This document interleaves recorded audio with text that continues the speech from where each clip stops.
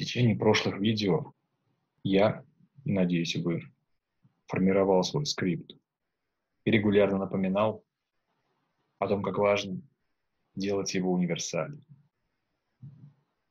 На сегодняшний день получился вот такой скрипт. Не очень длинный, но и не очень короткий. Чанки 19.1, 19.2 из прошлого видео я закомментил, потому что они были скорее тренировочными для тренировки работы с датами.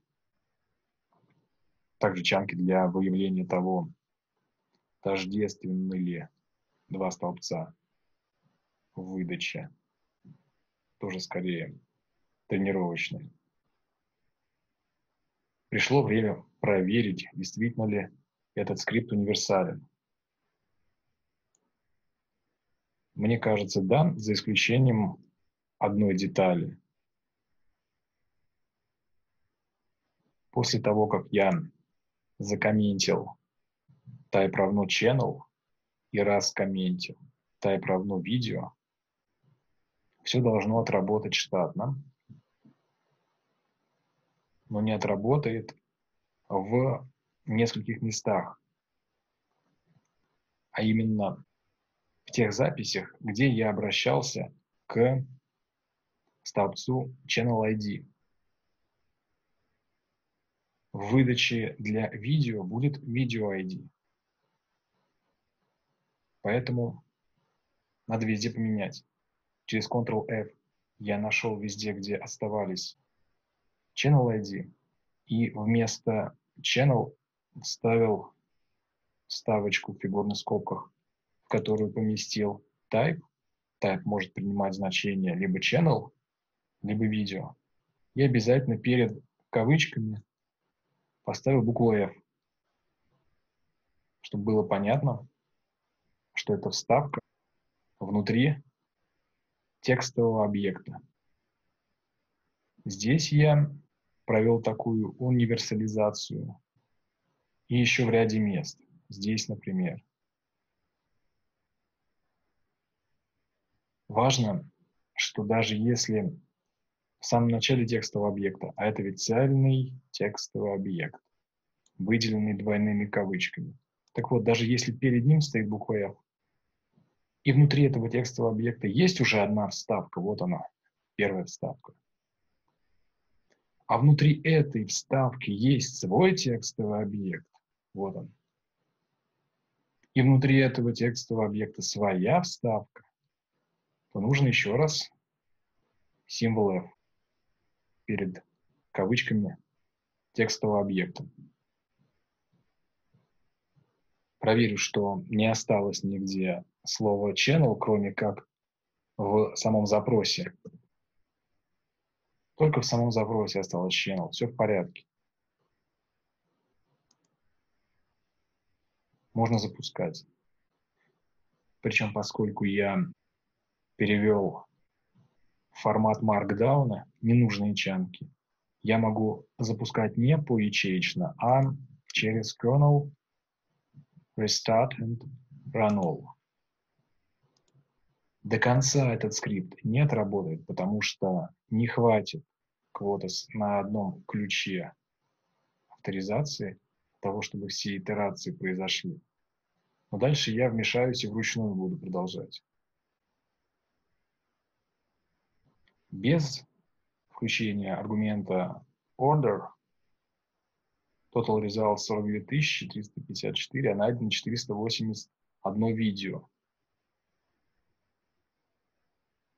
Вот происходит пересортировка. Она подходит уже к своему концу.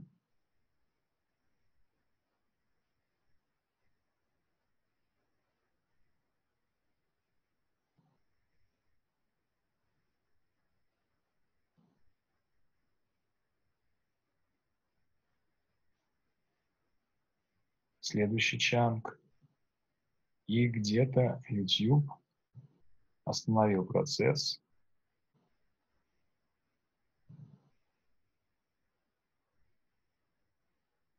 А нет, не YouTube остановил. Я не раскомментил year с прошлого видео, я его закомменчивал, когда после исчерпания квотас продолжал цикл с 2012 года и не раскомментил. И, кстати, а, поскольку я обнаружил, что самые ранние видео датировано 2009 годом, из тех, которые найдены после пересортировки, и при этом я знаю, что самый ранний канал относится к 2007 году из тех, которые я находил, то я и видео буду искать тоже с 2007 года, поэтому я это число из него вычел 2. Вот теперь я снова запускаю этот чанг, потому что он прервался в силу того, что year не определен.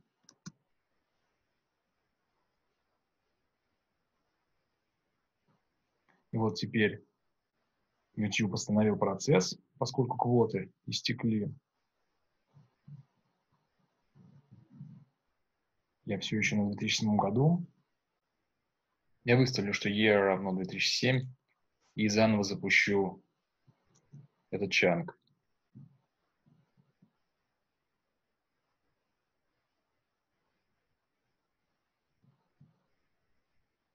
Уже 759 видео. Обратите внимание, исходно было 480 с лишним, уже 759. То есть в данном случае пересортировка немало добавила. И учет даты тоже добавил в большей мере, чем в случае с каналами. И вот уже снова истек ключ авторизации. Снова меняю ключ. Это можно автоматизировать, но учитывая, что ключей мало, даже у меня, это будет пустая трата времени. Просто запускаю этот чанк, и он начнется с того года, на котором остановился.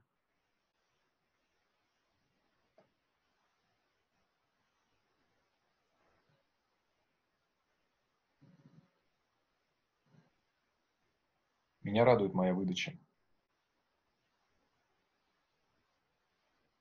Как вы видите в случае с видео, мой скрипт приводит к успеху.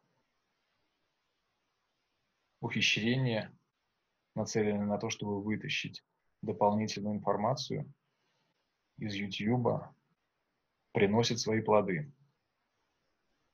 Вот, к сожалению, последний мой ключ авторизации на сегодня исчерпался уже 815 видео. Конечно, Total Results показывает число на порядке больше, но я не вполне доверяю Total Results. После полуночи по Тихоокеанскому времени мои ключи авторизации снова получат свои квоты, и я закончу этот процесс. А пока можно промежуточный результат сохранить в Excel и посмотреть на него.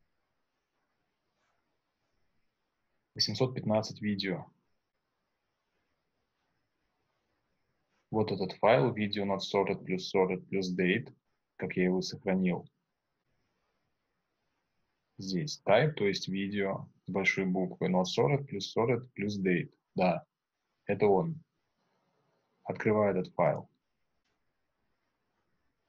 Тип запроса, электронная метка, тип выдачи, ID, видео, год публикации, название, описание, адрес картинки, которая связана с видео, технические характеристики. И обратите внимание вот на, и обратите внимание на столбик H, он называется Snippet Channel ID. Это ID канала, на котором опубликовано видео.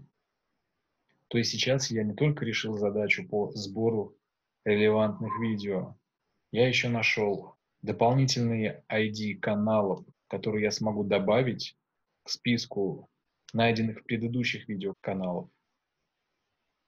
Конечно, отчасти каналы в этом столбце дублируются теми каналами, которые я уже нашел.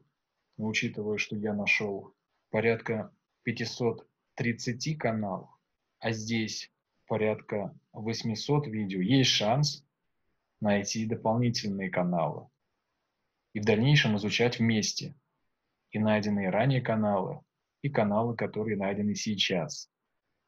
К следующему видео я дополню выдачу видео из 17, 18, 19 и 20 годов. Как вы думаете, я соберу тысячу видео или не соберу? Ответ узнаем в следующем видео.